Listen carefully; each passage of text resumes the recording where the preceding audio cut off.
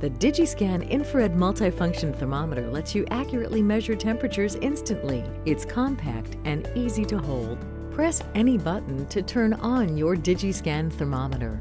To measure temperature in the ear, remove the forehead cover and carefully place the measuring probe into the ear canal. Press and hold the measure key the clear button on the back of the thermometer, you'll hear a short beep followed by two short beeps.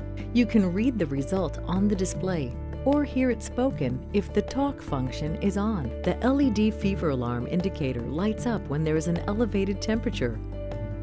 Measuring temperature on the forehead is just as fast. Place the forehead cover on the thermometer. Touch the probe point to the middle of forehead, between the eyebrows and the hairline.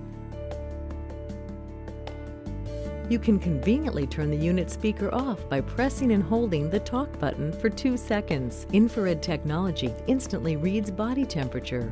Cleaning the probe is simple. Just wipe it with a swab of cotton or soft cloth moistened with alcohol. Press and hold the memory button, which is marked MEM, to enter setup mode.